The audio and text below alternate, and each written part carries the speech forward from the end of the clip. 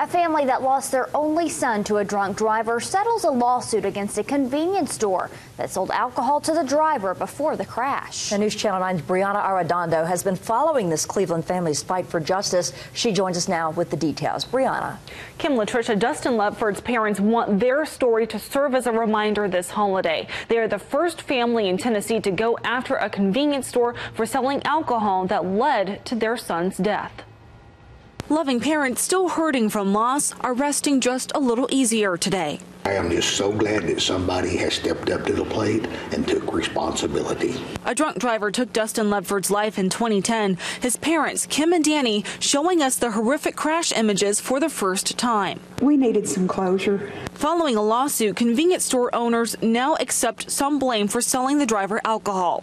Investigators found the driver that hit Dustin was three times over the legal limit. I wanted um, them to, and, and other convenience stores, to realize that they cannot sell to somebody that's already intoxicated and not think that there's going to be a consequence. The family's attorney says suing Dalton Pike Market was tough given Tennessee's code. This is the only example of which I am aware that a person who's been harmed or injured or killed has a burden of proof beyond a reasonable doubt that it was the dispensing of the alcohol which was a proximate cause of the loss. The outcome holds this convenience store to the same standard as a bar overselling alcohol to a patron. That was the case in Chattanooga at Fanatic Sports Bar when a man crashed his car and died after drinking at the bar. I was told that we were the first family, I believe, in the state of Tennessee that has ever gone after a convenience store. And um, I, I think the laws do need to be Logan tells me the Cleveland store and the Ledfords settled for an undisclosed amount of money.